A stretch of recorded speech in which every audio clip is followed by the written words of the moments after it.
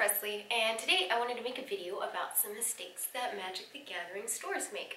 Uh, so basically some mistakes that kind of cause their demise or something that might cause them to have a huge riff in whether it's popularity or sales or something like that. Um, so we all know Magic is a very immersive kind of game. There's Magic Online, there are Magic cards to play, you can deck build, you can buy alters. There's a lot of different kind of areas and uh, different pathways you can take when it comes to Magic. Um, and because of that, to open up a magic store is a really good idea. There's a lot of stuff you can do there. You can kind of expand on what's already there.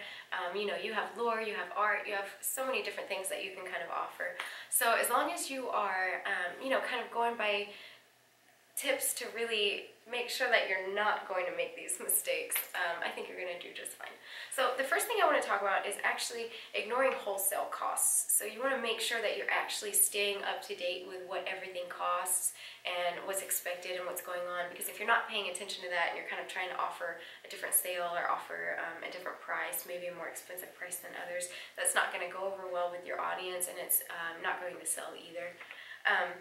The next thing I want to talk to is falling in, uh, is failing to target gamers. You want to target gamers. You want to target those people. You want to target the people that are going to receive your information or receive your products or your store in a in the right light. And gamers can definitely do that. Gamers know what they want. They know what they're looking for, um, and they're already your target audience. So it's easy to make sure that you're keeping them happy.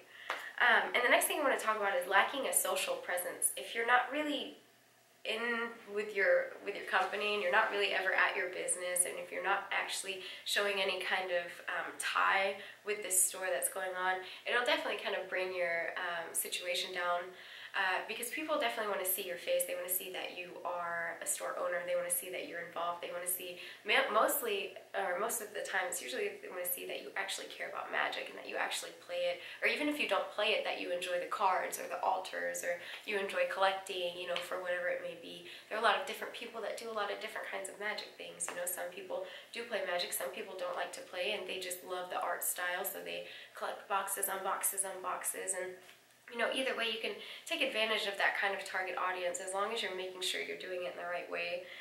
Um, another one would be failing to host events. You want to make sure you're hosting, like, whether it's Friday Night Magics or, you know, things like that. You want to host something that kind of brings people together and reminds the community that you're there and that you're offering the ability to come and hang out and you know communicate and play each other and have a good time. Um, that's definitely something that as a magic store, that's one of the main pools um, is being able to communicate and have your Friday night magics there and things like that. Um, another one would be not being on the store locator. If you're not on the store locator, people can't really locate you and that brings you down by a lot. Um, and the other one would be not incentivizing. You want to make sure you're incentivizing. You want to incentivize why should these people come to my store? Why should these people buy my products? Why should these people spend Friday Night Magic here and not somewhere else? You know, you want to be incentivizing, whether it's with a fun attitude or, um, you know, whatever it might be, you want to incentivize for sure. Um, and another one would be failing to build on momentum. Whereas like a lot of Magic the Gathering stores will have their first few customers and so they'll get more clients in, but they kind of base what they should be doing around the first customers, and that's not a very smart idea. You want to follow the trends, and you want to see as the different people come in and the different things that they're looking for and the different things that they need, you kind of want to move with it. You want to make sure that your magic store is kind of moving with the audience as they go, because as we know, it's, it's ever expanding, and it's always expanding. It's um, there's always new kinds of people, and everyone, everyone plays this, uh, from jocks to um, single moms to doctors to um, children to you know everyone in between. So there's a lot of differentiation there, and you want to make sure that you're paying attention to that. Uh, and another one would be failure to build community, and that kind of goes with what I was saying with like um, having a social presence and also hosting events and stuff.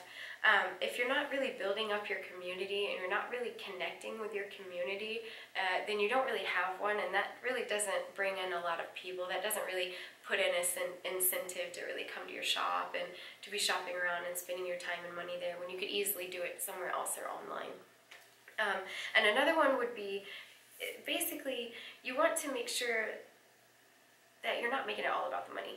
With magic, magic is very immersive and it's very much about the art and the fun and the interaction and the community that's around it. And you want to make sure that you're not letting money be the first part of that. When you open up a magic store, you have to realize that, you know, why are you opening it up? Because if you're opening it up just to make money, that might not be the best business sense.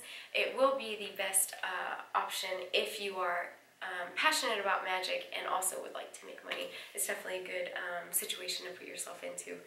Um, you know, in my opinion, I just feel like when, when things are too much about money, it kind of takes away from the fun and it takes away from really the magic that's going on there.